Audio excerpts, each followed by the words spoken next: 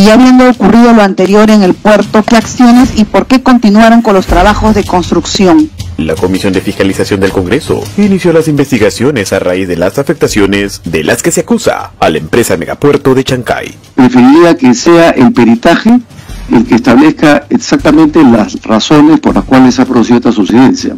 Querían que ingrese un geólogo y un ingeniero y les prohíben. Participó la autoridad portuaria, el alcalde, la empresa y el Frente de Defensa por mediación de la congresista Olivos. Más de 400 casas rajadas que la empresa que hace solamente resanar y dar un, un estipendio económico. No solo en la zona del hundimiento que hoy es noticia.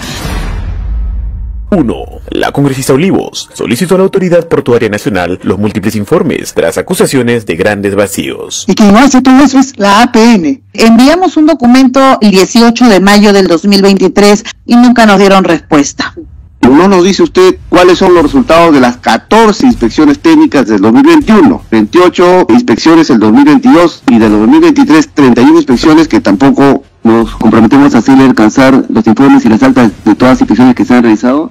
2. Solicitó ante SENACE la revisión de los instrumentos de gestión otorgados, así como la modificación del estudio de impacto ambiental. Se revise y se modifique el estudio de impacto ambiental. La Autoridad Portuaria Nacional se haga responsable 3. Que se revise la resolución y todos los documentos de autorización que brindaron cada una de las entidades competentes. La alcaldesa anterior otorgó licencia de construcción y ahora dicen que no puede fiscalizar. Entonces, ¿para qué se otorga una licencia si la ley le permite? 4. Ante migraciones, que se realice una investigación del ingreso de extranjeros chinos en base a motivos laborales en dicha obra. Están ingresando al distrito de Chancay y quién sabe por dónde. 5. Ante Costco Shipping, que brinden el listado del número de trabajadores chancayanos y guaralinos. También quiero que haya inversión, que Chancay sea un pueblo desarrollado, siempre respetando a la población. 6. A las entidades competentes que exhorten a que el alcalde pueda intervenir en acciones de supervisión y fiscalización. Pero el Ministerio de Vivienda nos da, la municipalidad no puede hacer las evaluaciones correspondientes. ¿Cómo puede un alcalde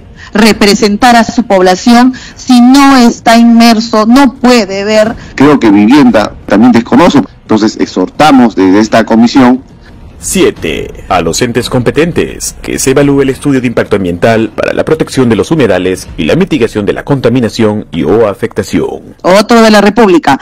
Aves migratorias huyen de humedales por contaminación sonora del megapuerto. Eh, la modificación del estudio de impacto ambiental aprobado en 2020 se ha revisado. Muchos chancayanos no querían esa empresa, muchos sí apostaron por esa empresa. En todo caso, creo que debería de haber una mejor comunicación con la población y un mejor trato con ellos.